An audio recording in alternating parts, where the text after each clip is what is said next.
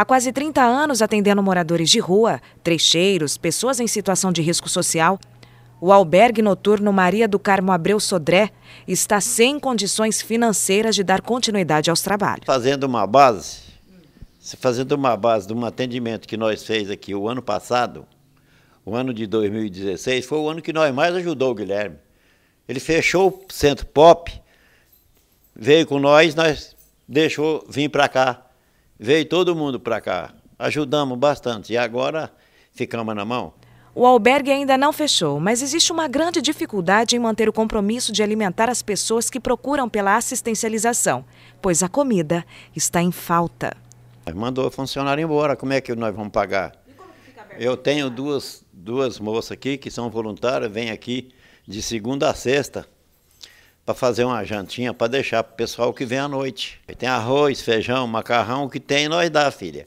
Porque nós não temos condições de comprar mistura, carne, esses negócios. Até o ano passado, Maria era funcionária. No início do ano foi dispensada. E mesmo assim, não parou de trabalhar. Mas agora, como voluntária. É complicado conviver com isso. E agora está acabando tudo, né?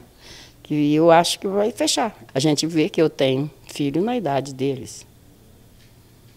E eu não gostaria de ver o meu assim, então eu fico chateada.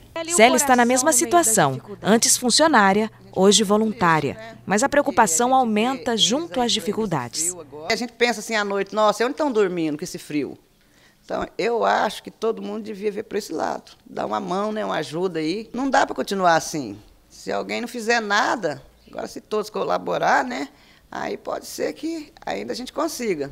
E agora o coordenador se empenha para que as portas do albergue não fechem. O objetivo é olhar para quem vem de fora, que chega aí, ó, à noite aí, bate aí, a gente não tem uma coisa melhor para fornecer para essas pessoas. A gente estamos fornecendo aquilo que nós temos.